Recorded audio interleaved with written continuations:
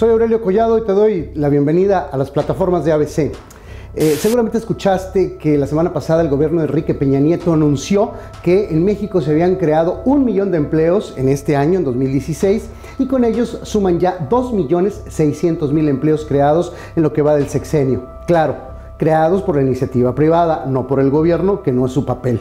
Sin embargo, las uh, llamadas reformas estructurales han contribuido a que más inversión más emprendedores se lancen a la aventura de crear estos empleos y ello, bueno, pues tenemos que reconocerlo.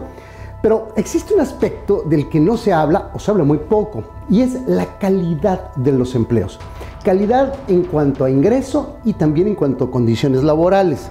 Eh, es cierto, se, se han creado un millón de empleos, o, dos y medio, poco más desde que empezó el sexenio de Peña Nieto, pero resulta que si la tendencia que se observó el año pasado, es decir, en 2015, continuó en este año y todo parece indicar que así fue, los empleos creados han bajado el salario promedio de los trabajadores en México.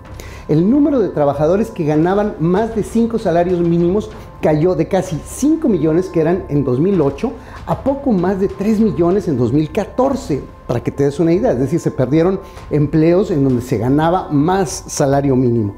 Y ahora, al cierre de 2016, bueno, la tendencia parece ser que continúa y esto implica pues empobrecer la calidad de los empleos. Es decir, las verdades a medias. Si la buena noticia es que el gobierno de Peña Nieto se han estado creando empleos, es cierto.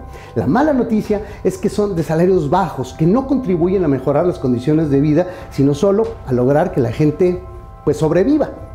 Por cierto, ¿sabes que el estado de la República Mexicana que tiene el mayor porcentaje de personas que sobreviven con un salario mínimo es, adivinaste, el Estado de México? Te invito a que sigas la conversación aquí en las plataformas de ABC. Yo soy Aurelio Collado.